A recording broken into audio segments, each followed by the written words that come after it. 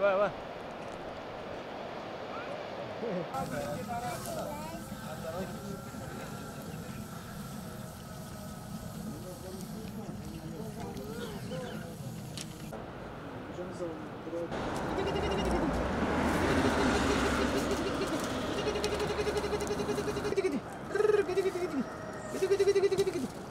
Yusuf kaptara.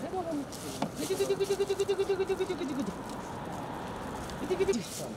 Gıdıku gıdıku gıdıku. Gıdıku gıdıku. تنبلی دوی کوه اوه چونکه او جی کوچه هکه نرمالده پازی کوی شاخیتون تام درش دی بله دوی کوچه او پازی کوچه گدی گدی گدی گدی گدی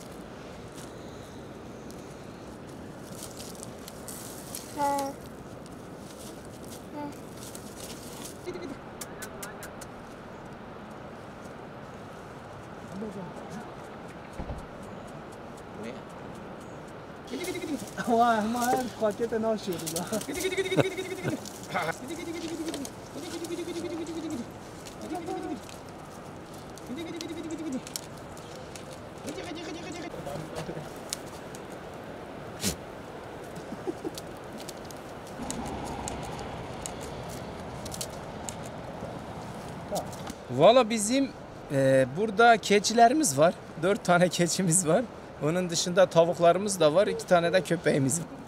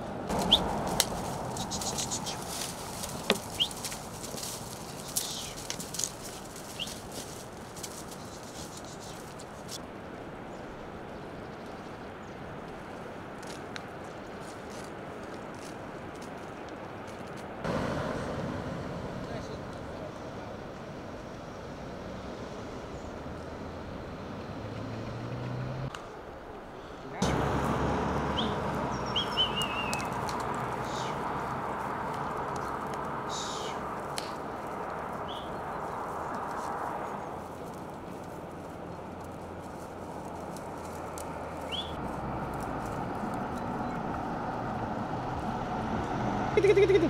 Gidi gidi gidi gidi gidi. Niye çıkıyor bizler var ya? Avlar şimdi çekiyor.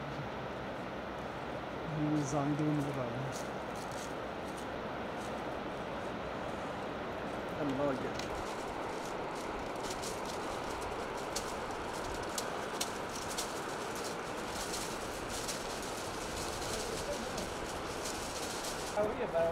Aa çok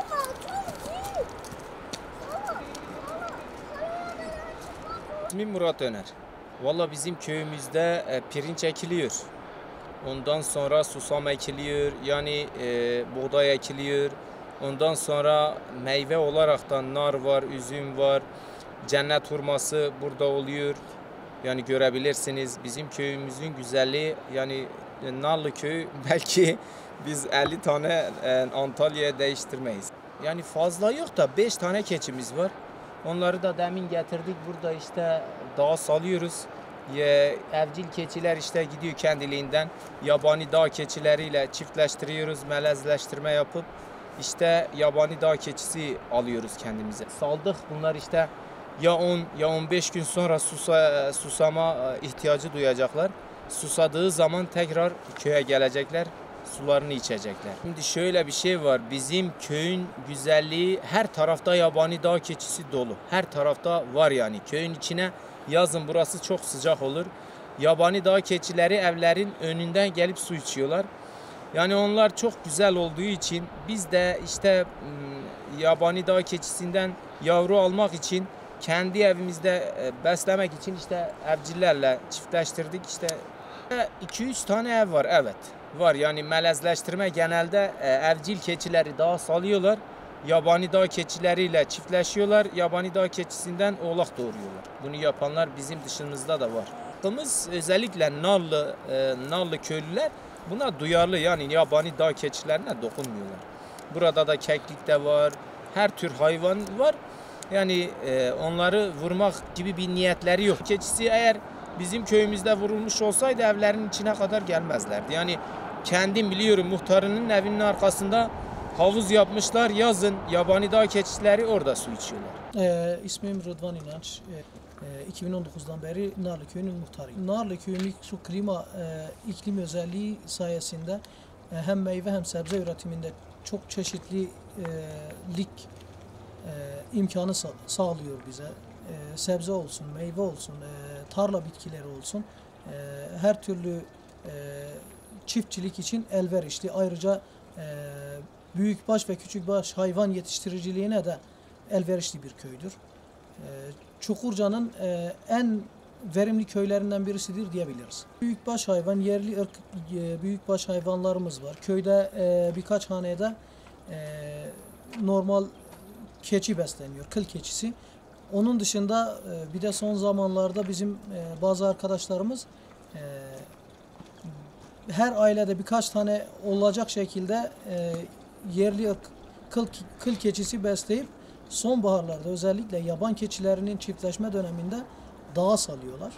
E, dağa saldıkları bu e, yerli ırk keçiler e, yaban keçileriyle çiften, çiftleştikleri için e, onlardan e, elde ettiğimiz yavrular tabi yaban keçisi melezi oluyor. Bu da hem ilgi çekici hem de çok daha güzel bir ırk e, elde etmemizi sağlıyor. E, özellikle e, Aralık ayının sonuna doğru yaban keçilerinin çiftleşme dönemidir. O dönemlerde dağa salıyorlar. Dağlarımızda çok çetin dağlar olduğu için yabani hayvanlara yem olmamaları konusunda da e, elverişli. Yani ya, kurt gibi, çakal gibi hayvanlar kayalıklar çok çetin kayalık olduğu için keçilerimize ulaşmada biraz zorlanıyorlar. O açıdan e, salma konusunda bizim bir sıkıntımız da yok. Genel olarak e, zaten dağa uyumlu bir hayvan olduğu için genelde e, salıyorlar.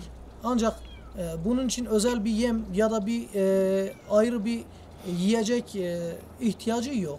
Na- nasıl yerli ırk hayvanlar e, ahırda beslenebiliyorlarsa onlar da aynı şekilde beslenebiliyorlar. Onun dışında da dağa uyumlu olduğu için zaten kıl keçisi de yaban keçisi yakın bir e, dağ uyumuna sahip bir hayvandır.